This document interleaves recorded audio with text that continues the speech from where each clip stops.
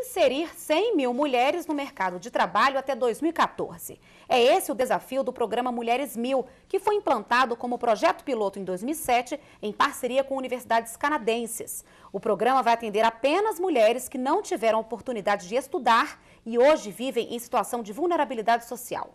A reportagem é de Daniela Almeida. As mulheres já são mais da metade da população do país. De acordo com o censo 2010, são quase 4 milhões de mulheres a mais que homens no Brasil.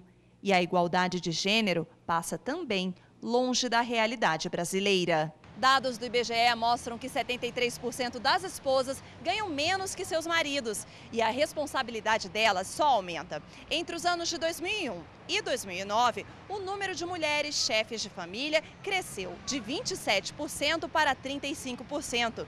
E na hora de buscar um emprego, o público feminino também está em desvantagem de acordo com o IPEA. Falta qualificação profissional e experiência. Hilda, de 41 anos, mãe de três crianças, parou de estudar muito cedo para cuidar da família. Os anos passaram e o sonho de melhorar de vida foi ficando para trás. Depois desse curso de 2008 para cá, eu recuperei a minha autoestima, porque eu não tinha, eu tinha perdido totalmente. Hilda insistiu em ser respeitada, ter trabalho e educação, assim como essas outras 12 mulheres. Todas elas fizeram parte no norte e nordeste do país do projeto piloto do programa Mulheres Mil, lançado oficialmente nesta semana pelo Ministério da Educação. Antes desse, desse projeto né, é, Mulheres Mil chegar lá, a gente não tinha muita expectativa assim, de, de vida, assim, de, de trabalho, né?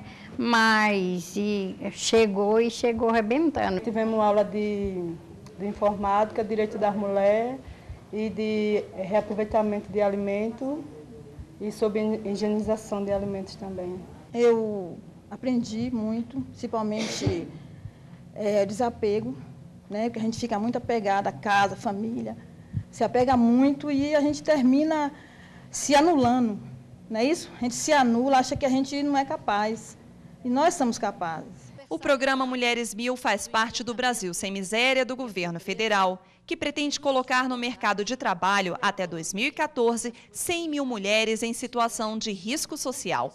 Muitas são mães solteiras ou chefes de família que não tiveram oportunidade de estudar nem trabalhar no mercado formal. O recorte é uh, fazer com que as pessoas tenham uma promoção, né? uma promoção de classe, uma promoção de educação, né, uma promoção de cidadania. Então, o recorte de, dessa ampliação do Mulheres Mil tem todo eh, o apoio da presidenta no sentido de um olhar especial para o combate à pobreza e à miséria.